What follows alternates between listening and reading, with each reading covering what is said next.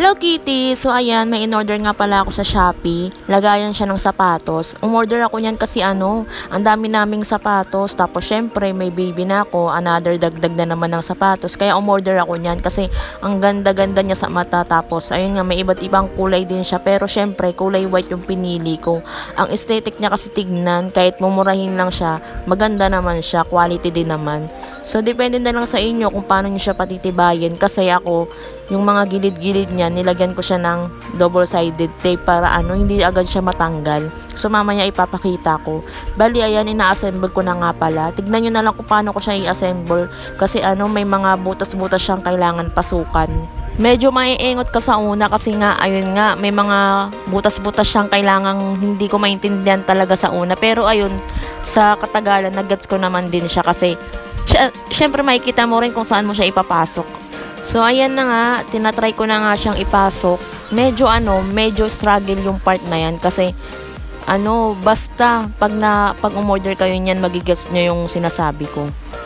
Tapos ayan na nga, maglalagay na ako ng double-sided tape para hindi siya matanggal kasi ano siya, medyo maluwag siya. Tapos syempre pag bubuksan mo, may times na matatanggal siya. So ayun, lalagyan ko siya ng double-sided tape para matibay talaga. Kung wala naman kayong double-sided tape, siguro pwede naman siguro yung scotch tape lang talaga na ordinary.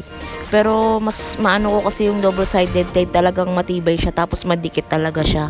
Pagpasensya nyo na nga pala yung boses ko, parang medyo nangongongo ako. Naririnig ko yung boses ko medyo ngongo kasi meron akong sipon kaya ayun, ngongo tayo ngayon.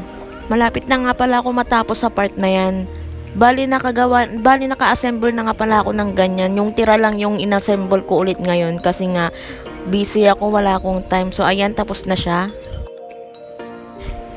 Ayan, bali nakikita niyo yung parang may ano dyan sa ilalim. Ayan, yung tinuturo ko Diyan natin ipapatong yung isang box na ginawa natin. So, nung una, hindi ko rin alam na ganun pala yung purpose nun kasi nga, eh, syempre, first time ko lang. Tapos, napansin ko na lang siya bakit may ganun. Tapos, inisip ko paano, paano gagawin. Tapos, ayun na nga, nagets ko rin naman siya. So, ayan, ipapakita ko sa inyo kung paano.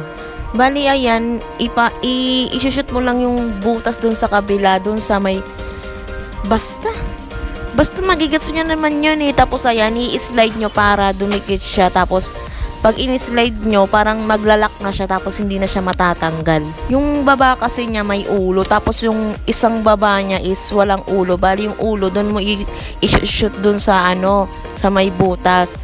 Tapos i-slide mo siya, tapos yun, doon siya magdidikit para hindi siya matatanggal. Tulad niyan, ayan, ganyan yung, mag, ganyan yung kakalabasan niya. Ayan, sana nagigets niya yung mga pinagsasabi ko dyan. Kasi kapag bumili naman kayo sa, sa shopping yan, magigets nyo rin naman kung paano siya ikakabit.